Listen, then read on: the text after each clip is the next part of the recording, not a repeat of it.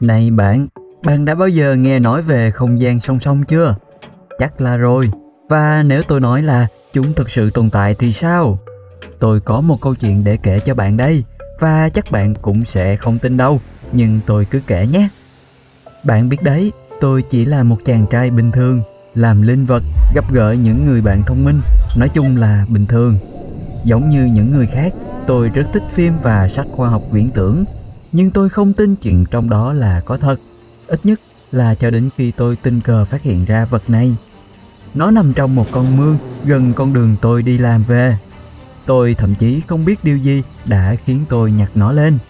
Nó trông giống như một loại máy nghe nhạc MP3 với ba cái nút. Tôi xoay nó ngược xuôi và sau đó nhấn vào nút giữa.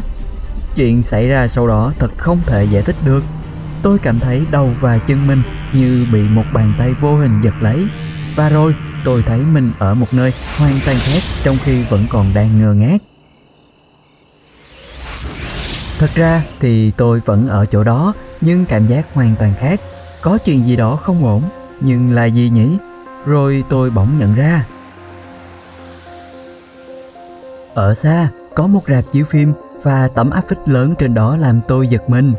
Trên đó ghi là nhân dịp kỷ niệm 20 năm tác phẩm kinh điển đình đám Gigatic của James Cameron đã trở lại màn ảnh rộng. Trước hết, tôi biết rằng bộ phim kinh điển của Cameron là Titanic, không phải là Gigatic. Và thứ hai, nó được chiếu lần đầu tiên vào năm 1977, đã 22 năm trước. Vậy tại sao lại có kỷ niệm? Tôi hỏi một người qua đường xem có nhầm lẫn gì không anh ta chỉ nhìn tôi như thể tôi bị mất trí và nói rằng chẳng có Titanic nào cả. Không có phim cũng chẳng có đám tàu. Titanic đã đến New York an toàn và còn chạy thêm 20 năm sau đó. Nhưng Gigatic đã bị đắm trong chuyến đi đầu tiên vào năm 1913 vì đắm vào một tảng băng trôi. Đó là khi tôi nhận ra đây không phải là một trò chơi khăm. Bằng cách nào đó, tôi đã đến được thế giới song song. Tôi đã nghe nói về hiện tượng này có một giả thuyết về đa vũ trụ, nghĩa là có một số lượng vũ trụ tồn tại song song với nhau và không bao giờ gặp nhau. Theo giả thuyết, bất cứ điều gì có thể xảy ra đều có thể xảy ra trong một vũ trụ song song. Trong vũ trụ mà tôi đang ở, mọi thứ đều như cũ, trừ bi kịch của tàu Titanic. Không từ nào có thể diễn tả được sự kinh ngạc của tôi, vì vậy tôi đã làm một việc hết sức tự nhiên. Tôi nhấn nút một lần nữa Cảm giác bị giật lại làm tôi choáng ngợp và ngay sau đó tôi đã đến một thế giới nữa. Lần này thì khác, tôi đang ở giữa một đường cao tốc đông đúc thay vì một con đường nhỏ khiêm tốn và quan trọng nhất là có rất nhiều xe đang bay trên đường.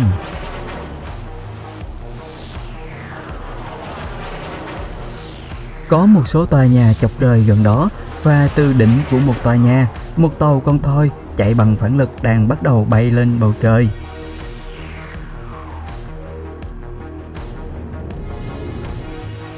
Tôi vội vàng chạy vào quầy báo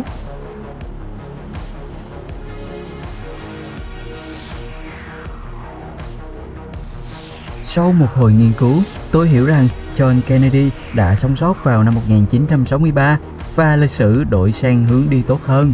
Hóa ra mọi thứ sẽ như thế này nếu không có Lee Harvey Oswald. Tôi khá phấn khích, muốn xem hết các loài vũ trụ song song. Tôi nhấn nút và bị hút vào cú giật quen thuộc. Ê, cái gì đây? Tôi đang ở đâu? Ồ, oh, tôi hiểu rồi. Vũ trụ The Simpsons. Bạn biết đấy, tôi luôn muốn làm một điều. Tôi tự hỏi mình có thể tìm Homer ở đâu. Và anh đây rồi. Chào anh, fan hâm mộ đây. Rất vui được gặp. May, tóc đẹp đấy. Gì, làm sao mà tôi biết bạn là ai? Đừng bận tâm, cho tôi vỗ bụng anh một cái nhé. Ồ vâng, cảm ơn, tạm biệt. Hừ, thật đáng kinh ngạc. Bây giờ tôi đang ở đâu trong đa vũ trụ? Có cái gì đó không đúng. Con đường vẫn đây nhưng không được lát gạch và những ngôi nhà trông như thời Trung Cổ. Tôi đoán vậy. Chúng được làm bằng đá và các bức tường dày đến nỗi dường như chúng được xây để bảo vệ hơn là để ở thoải mái. Tôi đi bộ đến ngôi nhà gần nhất và dừng bước khi bất ngờ có một người lái xe lao ra từ góc phố. Anh ấy không cưỡi ngựa anh ấy cưỡi một con khủng long, yên, dây cương, đầy đủ dụng cụ luôn. Tôi bước lên vài bước và thấy xa hơn một chút. Có một con khủng long đang kéo xe. Tôi dám chắc luôn đây là một vũ trụ mà thảm họa diệt chủng khủng long đã không xảy ra. Nhìn thì cũng không tệ lắm. Rốt cuộc con người vẫn chiến thắng trong cuộc đua sinh tồn. Tiến bộ công nghệ rõ ràng là chậm hơn. Có lẽ dù sao thì tôi cũng vẫn thích nó điểm đến tiếp theo là ờ tôi đang làm sao thế này? Tại sao tôi lại ở dạng 3D ôi, cánh tay của tôi, nó rơi ra rồi. Ai đó vui lòng giúp tôi gắn lại cánh tay với. Có ai không? Hả? Cuốn sách này là gì? Một ngàn cách sử dụng súng bắn keo. Chính xác là những gì tôi cần. Súng bắn keo đâu nhỉ? Ồ, đây rồi. Cảm ơn. Dù bạn là ai đi nữa, họ đã bắn một ít keo nóng lên cánh tay của tôi và cẩn thận gắn nó trở lại vào cơ thể. Hừ ổn rồi. Cảm ơn một lần nữa người khổng lồ hiền lành. Có lẽ tôi nên đến một thế giới khác trước khi mất thêm một bộ phận cơ thể. Bấm.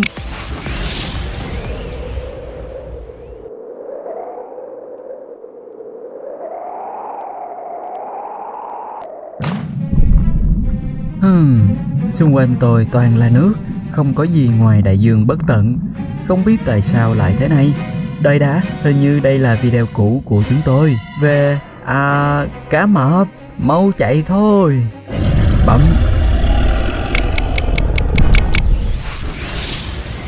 Càng đi xa thì càng kỳ lạ và đây là vũ trụ South Park.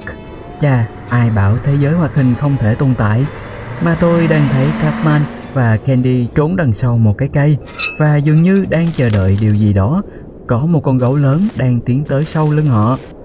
Tôi không muốn thấy điều sắp xảy ra với Kenny đâu. Catman thì kiểu gì cũng sống sót thôi. Thế là tôi bấm tiếp.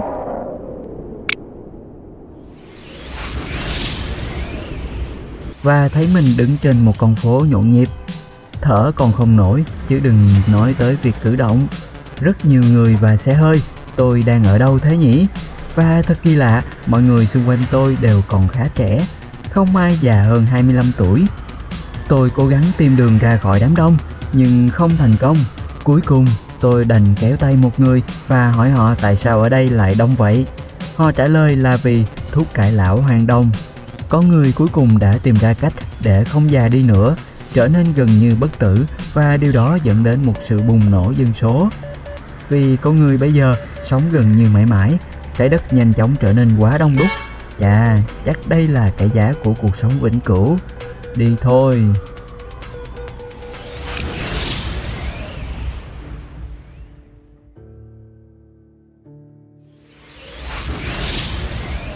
Này, cái gì vậy? Tôi đang được chế tạo lại à? Không, cái này khác. Mọi thứ đều được làm bằng khối, trông giống như một loại trò chơi máy tính. Ồ, chắc tôi có thể hỏi người màu xanh này. Này cậu bạn màu xanh ơi, cậu có biết thế giới này là gì không? Không, cậu ít nói lắm phải không? Kia là bạn của cậu hả? Cái khối xanh xanh kia kìa. Hmm, tôi không thích tiếng rít đó, ghê quá. Bấm.